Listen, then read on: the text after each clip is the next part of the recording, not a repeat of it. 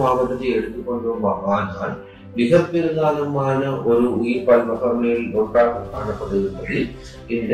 அஹ், முருகக்கற்பாறைகள் என்று கூறப்படுகின்றன ஃபாரஸ்ட் ஒரு நிலையான முறையில் நாங்கள் அதை பாதுகாத்து அதில் ஏற்படுகின்ற அழிவுகள் அல்லது சிதைவுகளில் இருந்து அதை மீட்டெடுத்து அதனை